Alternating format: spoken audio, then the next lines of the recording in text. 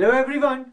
In this video, we are going to solve question number 3rd of exercise 6.1 and the question says state whether the following quadrilaterals are similar or not. Okay, now two quadrilaterals are given to you. The first is PQRS and all the sides of this triangles are uh, sorry quadrilateral is equal means this is a rhombus and now this is another quadrilateral ABCD where all sides are equal and all angles are of 90 degree means this is a square. Now you have to prove that whether these two quadrilaterals are similar or not. And we know that what are similar things? Similar things are basically those things which look alike means the shape of those two are same but the size can be different. So here if I look these so obviously the shape of these two are not same.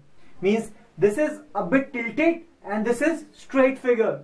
Or you can say the regular figure. So we can conclude that these two are not similar figures.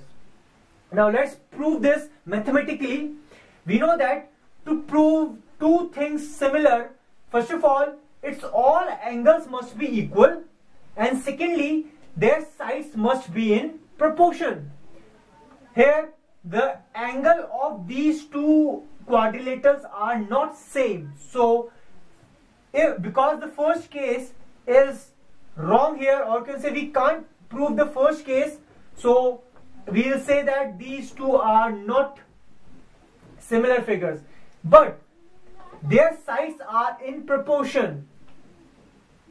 This is 1.5 this is 3, this is 1.5, this is 3, this is 1.5, this is 3 and this is 1.5, this is 3. So I have increased the side of these two, uh, I have increased this sides two times means the proportion of these two are same but the angles is not same that is why these two are not similar. So this is how you can solve this question. Thank you.